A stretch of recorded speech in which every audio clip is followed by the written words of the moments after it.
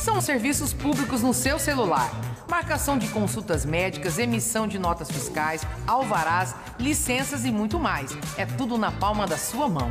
Para você que é um pequeno empresário ou tem uma startup, se liga nessa ideia. Vem aí o Start CG. Espaços gratuitos com acesso a computadores, impressoras, internet de fibra ótica e salas de reunião nas sete regiões de Campo Grande. A central de telemedicina vai dar acesso a médicos especialistas e agilizar cinco tipos de exames: eletrocardiograma, eletroencefalograma, espirometria e retinoscopia. O controle de estoque de medicamentos vai ser digital. É muito simples. Se o estoque está acima de 80%, a luz é verde. De 80% a 50% é luz amarela, que quer dizer atenção. Se chegou abaixo da metade, é vermelha. Aí é obrigação comprar o remédio para não deixar faltar. Com a muralha digital, bandido não vai ter vez. É vigilância 24 horas e totens com botão do pânico nas áreas de maior risco. Tudo ligado a uma moderna central de inteligência. É assim que se faz tecnologia para melhorar a nossa vida e Campo Grande conectada com o futuro.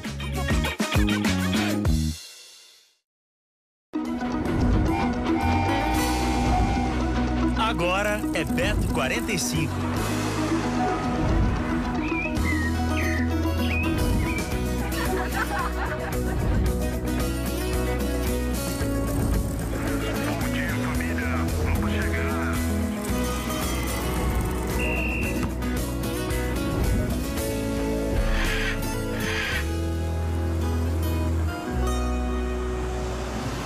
Hoje nós vamos falar sobre os servidores públicos municipais. Os profissionais que saem de casa todo dia cedo para servir a população e fazer o seu melhor e que, infelizmente, estão sendo ignorados pela atual gestão. Tem muito funcionário público que, no salário base, ele não ganha o salário mínimo. A gente se sente desvalorizado, desrespeitado.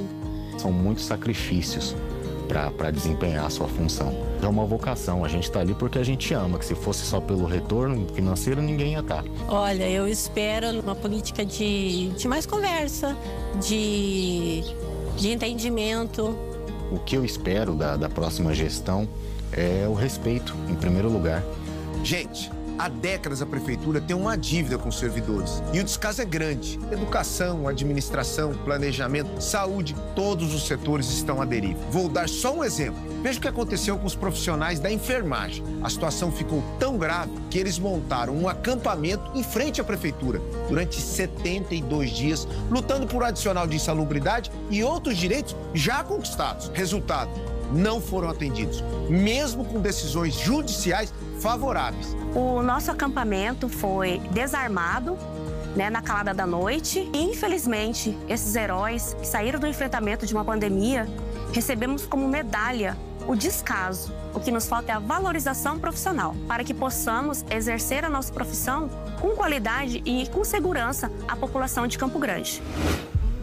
Mas o absurdo vai além das questões salariais. Tem repartição sem internet, com móveis e equipamentos sucateados. E o pior, tem profissional que não tem nem onde sentar. O meu diálogo com servidores públicos sempre foi aberto, claro e direto. E na prefeitura, vou seguir ouvindo as categorias, acolhendo sugestões. Nossa gestão vai acabar com os altos salários dos apadrinhados e arrumar as contas públicas. E aí sim, colocar em prática o nosso plano para o funcionalismo, encerrar as pendências judiciais, respeitar e garantir os direitos salariais e os adicionais, reorganizando os planos de cargos e carreiras e melhorando os salários defasados, abrir concursos públicos para ampliar as equipes, aperfeiçoando os atendimentos, plantões e escalas, investir em capacitação, integrar uma rede digital eficiente de controle de atividades. Chega de fichinha de papel, cuidar da saúde dos nossos servidores e das suas famílias.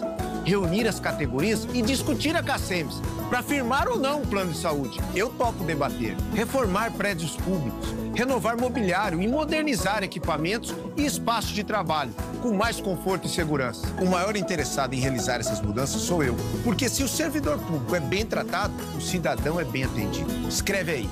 Na minha gestão, vamos valorizar quem trabalha pela população. Servidor satisfeito, cidade melhor.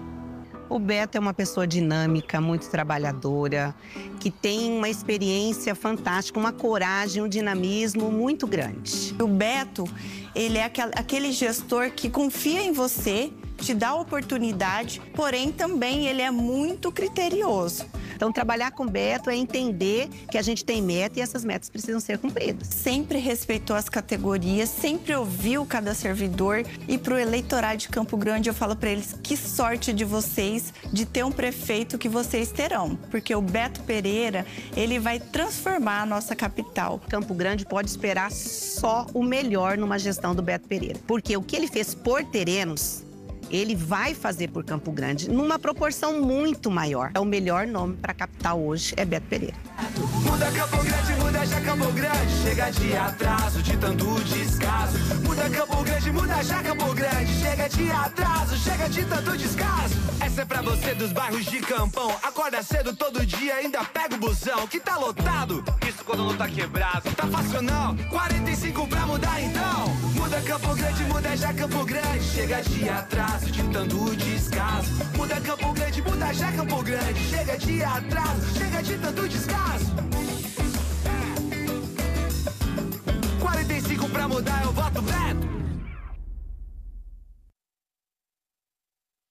Eu sou Luzo Queiroz, candidata a prefeito de Campo Grande.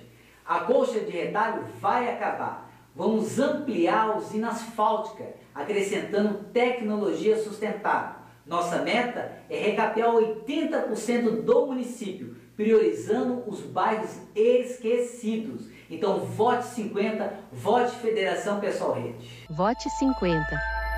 Federação Pessoal Rede.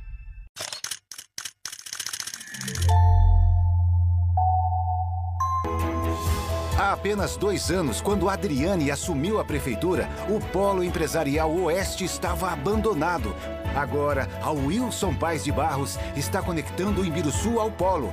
E agora nós vamos bater um papo com a Darlene e o Ronaldo para saber qual é o impacto que essa grande obra de mobilidade trouxe para a indústria deles. Nós estamos aqui há três anos, prefeita, e nesses três anos eu vivi a, a, era que não tinha asfalto. E o polo aqui tem 20, 25 anos e viviam naquela situação. E de lá para cá, a realidade é outra. Né? A gente está trabalhando em todo o contexto para que essa região volte a ser uma região pujante e para que mais pessoas possam né, se beneficiar de todo esse avanço e crescimento da nossa cidade. Olha aqui meu vizinho, ó, esse meu vizinho, isso aqui não tinha, não... aqui passava um carro por dia. Hoje, meu Deus, é, tô vendo que está tendo movimentação que não existia aqui. Nesses dois anos que eu estou como prefeito, o meu maior desafio foi acordar Campo Grande para um novo tema.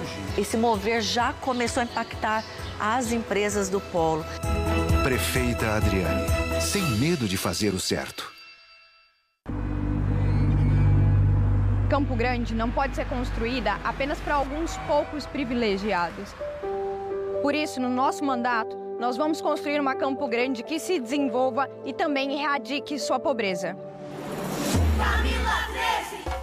Por isso, vamos garantir nos bairros mais carentes e com maior densidade populacional 100% de ruas asfaltadas, saneamento básico, limpezas periódicas iluminação pensada para as pessoas. Esse é só o começo para garantir mais dignidade às famílias periféricas.